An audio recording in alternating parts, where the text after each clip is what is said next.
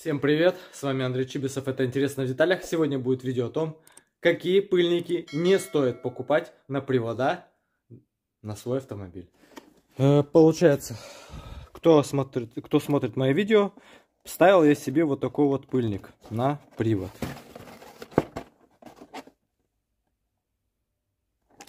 Что с ним стало? Показываю. Он лопнул вот в этом месте. То есть он лопнул вот в этом месте. Ну, поэтому приходится сейчас, пришлось вернее сейчас сбить гранату и делать замену пыльника. Не рекомендую пыльники такие к покупке. Почему? Потому что они не выдерживают сильных морозов. А мне что пришлось сделать? Мне пришлось разобрать гранату, сбить, вернее, разобрать, почистить. И сейчас буду ставить новый пыльник и собирать обратно шрус. Вот такие вот дела. Вот. Вот стоит Масума. Показываю. Сейчас даже покажу, почему Масума стоит. Не знаю. Э, будет тут эмблема где-нибудь, нет? Сейчас посмотрим.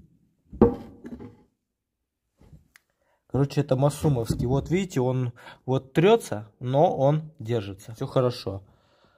А что произошло с тем? Пойдемте покажу. А вот что происходит с вот этой вот фирмой. Видите, он уже начинает лопаться. Перетирается.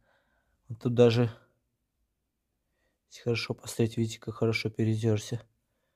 Вот, причем, да, вот в этих самых ответных местах, ответственных. Ну и, видать, здесь в первую очередь это произошло. А, ну и вот, вот в начале вот видно тоже рвется. Так что пыльники вот такой фирмы лучше не покупать. Еще что хотелось бы добавить, чтобы это не выглядело, как будто это подстава, реклама или какой-то другой пыльник. Показываю.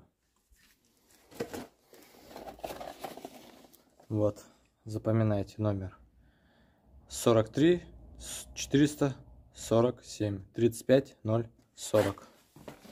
А вот этот пыльник, который я вам показывал, который я снял.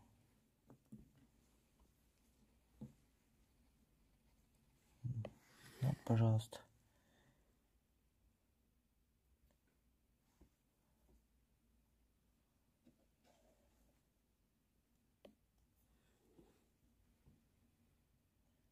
Видите, 43, 447.